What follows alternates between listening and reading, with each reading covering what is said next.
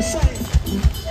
Packaged, regurgitated with a whole other thing. But we ain't falling for it this time.